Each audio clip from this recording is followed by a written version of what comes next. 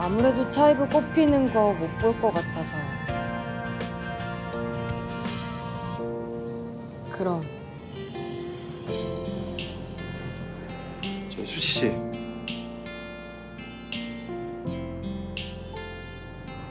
밥 먹고 가요. 여주 먹어본 적 있어요? 아니요.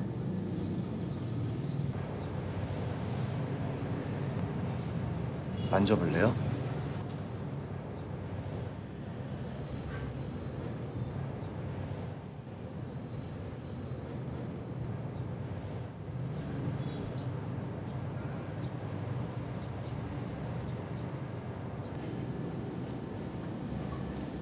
표면이 되게 특이하네요.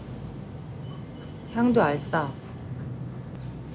맛도 씁쓸해서 비터멜론이라고도 불러요. 너무 써서 싫어하는 사람들도 있는데 고추처럼 너무 맵지도 않고 독특해서 가끔 생각나는 맛이에요.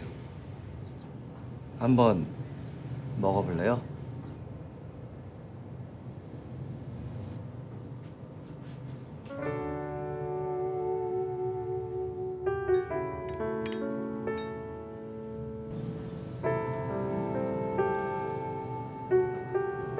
가운데 여주국 있고요. 왼쪽에 향채가 있어요.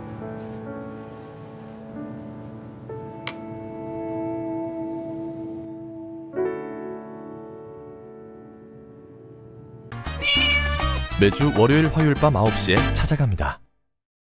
Delicious Life Olive